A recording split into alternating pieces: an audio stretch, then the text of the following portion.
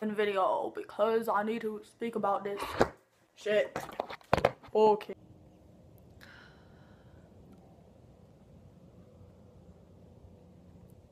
I have a new nickname. It is Brady. Uh,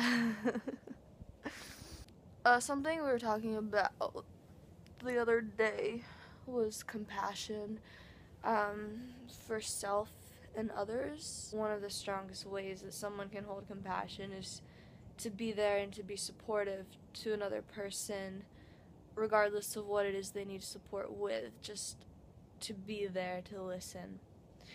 But compassion to self, um, a lot of what was brought up was like self care, things like that, and self compassion to me is just taking care of your physical and mental health. Because those are the most compassionate things you can do, I think, for another person and for yourself. And, um, you can do that through self care, I guess, self compassion through self care. But a lot of times, for me at least, I feel like self care isn't pointless, but it's difficult to do because, you know, I feel selfish if I take a bath or, you know, do something that's nice for me. Or I don't.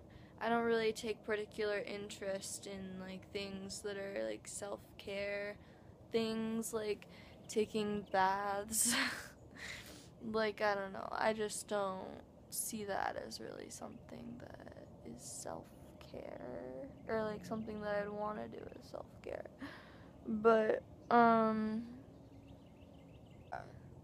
so I think that's something that's just good to keep in mind is like, am I being compassionate to others? Am I being compassionate to myself? Because if we're not being compassionate to others and ourselves, then what is the point? Like, to be compassionate for someone um, or for yourself is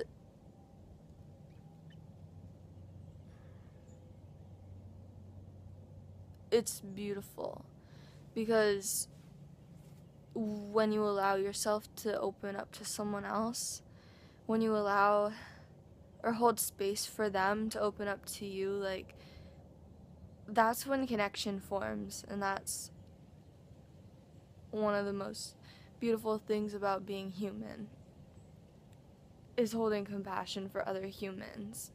It's empathy. Um, letting yourself feel empathy for others and sympathy, even if you haven't experienced the same thing holding space for someone else, for them to be able to feel comfortable being vulnerable, for them to be able to heal. That's what we're here for. We're here to be love. We're here to be compassionate for others. We're here to be compassionate humans, compassionate beings. And the thing about compassion is that it doesn't just go one way. And to be compassionate and to be there and to be vulnerable with others, for others, you have to. You have to have compassion and love and acceptance at some level of yourself. Because otherwise, it's so easy to absorb other people's emotions. It's so easy to get caught up in their stories, in their issues, in their problems, in their struggles, in their happiness. And you f- can often forget what it is that you want to work on within yourself, what it is that is difficult for you to work on, or that needs attention. Like those things kind of dissipate and are pushed under the surface if you can't first bring them up and deal with them either in relation to others or by yourself and the doors opening. Um, I just think that it's really important to be able to hold compassion for others and also to be able to hold space for yourself at the same time. Which is a hard balance. It's hard to hear someone else's stories and not feel as though it affects you uh, me. When I say you, I'm talking about me. But yeah, so I'm going to try to challenge myself to hold compassion, not just for others, but for myself.